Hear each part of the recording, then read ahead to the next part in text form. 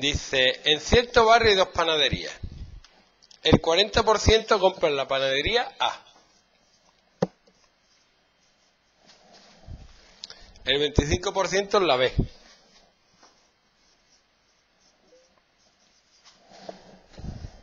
Y el 15% en las dos.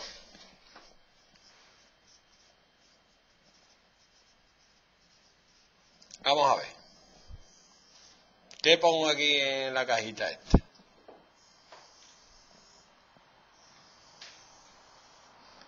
A y B. ¿Dónde pongo el 15? El medio. ¿Y aquí qué pongo?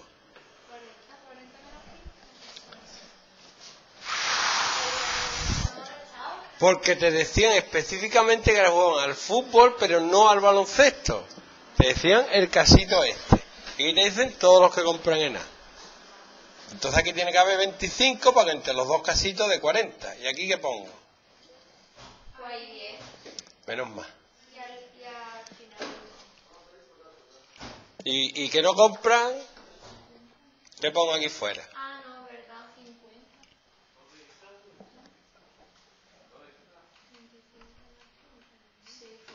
50 no compran pan. Lo compran en otro lado. ¿Eh? ¿Cuándo me van En el de antes, ¿te acuerdas del de antes? Te decían, juega al fútbol, pero no al baloncesto. Te están diciendo este trozo nada más. Pero aquí te están diciendo todos los que compran en A. Entonces aquí dentro tiene que haber 40. No podéis tener reglas específicas, tenéis que entender lo que tenéis que hacer. No decir, cuando esto, lo otro, no. Es que eso no se puede memorizar, hay que pensar. Y te preguntan, ¿cuál es la probabilidad de que esta persona compre A y no compre B? compren A y no compren B. ¿Eso qué caso es? Decir que hay cuántos compran en A y no compran en B. 25.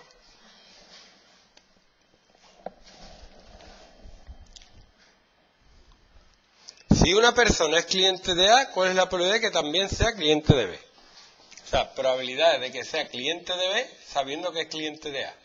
Pues sería la probabilidad de que sea de B y de A partido de la probabilidad de que solo sea de A.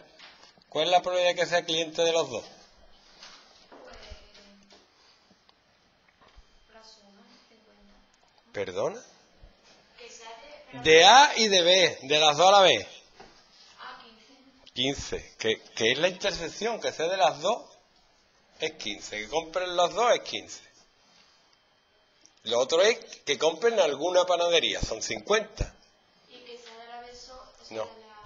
de la... Solo, ¿cuánto hay? 25 más 15. Ajá, 40.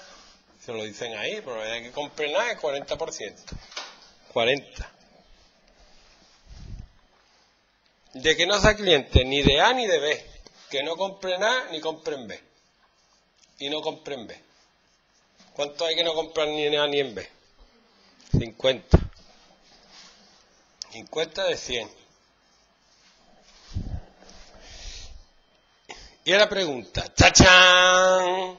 ¿Son independientes los sucesos ser cliente de A y ser cliente de B?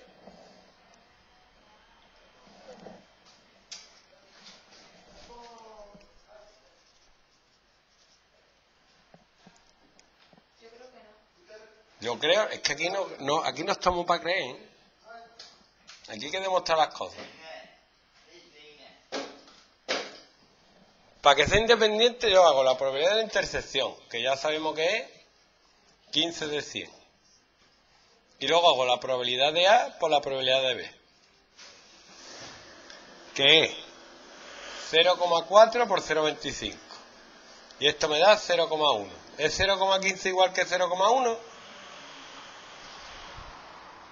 No. Entonces, ¿son independientes o no?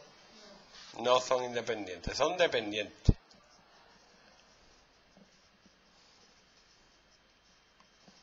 Pim pam. A los arbolitos.